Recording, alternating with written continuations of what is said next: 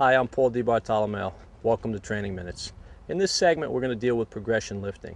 A progression lift is basically lifting an object in stages.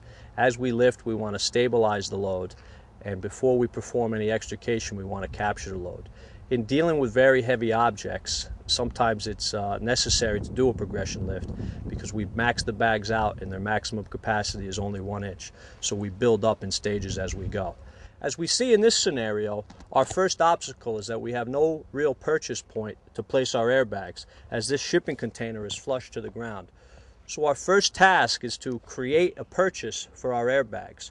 We have several options in doing that. First off, we could use a mechanical advantage system creating a fulcrum using pry bars. As we apply downward pressure, we see the container beginning to lift. We simply take our wedges and we capture our progress. Now we can lower the bars onto the wedges. We've created a spot to place our airbags. A second method to gain a purchase is using the hydraulic forcible entry tool, or the Rabbit tool, the two-piece Rabbit tool. We can see that by pumping the tool up, we can lift the container to the desired height. As we lift, the firefighters will slide a wedge under the container to capture our progress. Now we've got a sufficient spot where we can place our airbags and continue this lift. Now that we have a sufficient purchase to place our bag under the load, we want to select the largest bag that we can fit in there possibly. We're going to use the 20 ton bag. We want to slide the bag in, centering the X on the center of the load. We see the bag is placed centered with the X on the load. Now we can call the controller and have him slowly inflate. Up on yellow. Slow. As the bag inflates and the load is lifted, our two firefighters are going to stabilize the load by continually moving the cribbing in. Okay, now we have our wedges set. Up on yellow, slow. We're going to come up a little more so that we can capture this load with a 4x4 block. Note that the lift is done very slowly and controlled. We set our 4x4s spaced out evenly. We can back our wedges out. And what we're going to do now is lower the load onto our 4x4s, thus capturing our progress. Lower, slow.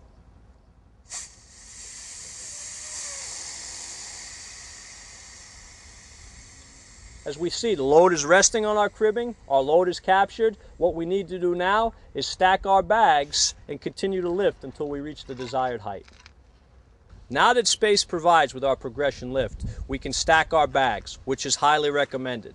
We always want to place the larger bag on the bottom, and we want to offset the hoses. This will avoid confusion when we're inflating. Once again, the bags are placed centered under the object using the X. As we inflate, we want to inflate the bottom bag slowly till we make contact, and then we can alternate the bags until we reach the desired height.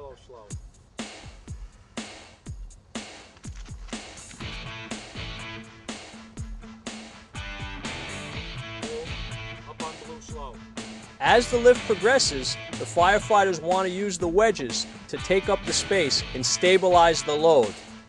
We must remember, as we lift an inch, we need to crib an inch.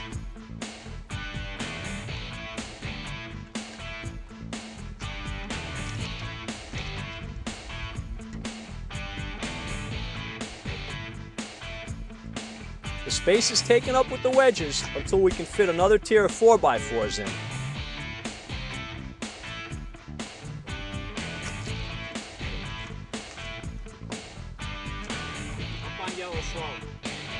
We may have to bring the load up slightly in order for the 4x4 to be able to fit under the load. We back our wedges out, we place our 4x4 under.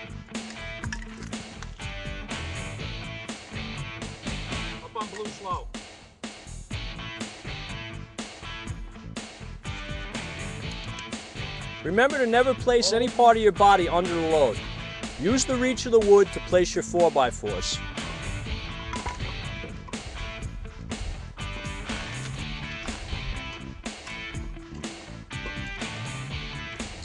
Try to center the contact points so we get maximum capacity out of our crib stack.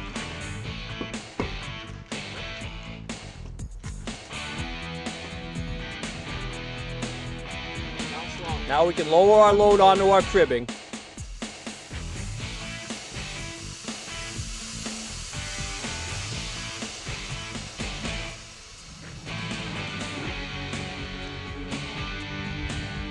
And the load has been successfully captured. At this point, we could perform our extrication and feel safe that this load will not shift and drop onto our rescuers or our victim. In progression lifting, although it may seem slow and tedious, it's what's necessary when we're lifting heavy loads. We lift an inch, we crib an inch, and as we lift, we want to stabilize the load to prevent any unnecessary movement, and we certainly want to capture the load before we perform an extrication. I'm Paul DiBartolomeo. Thank you for watching Training Minutes.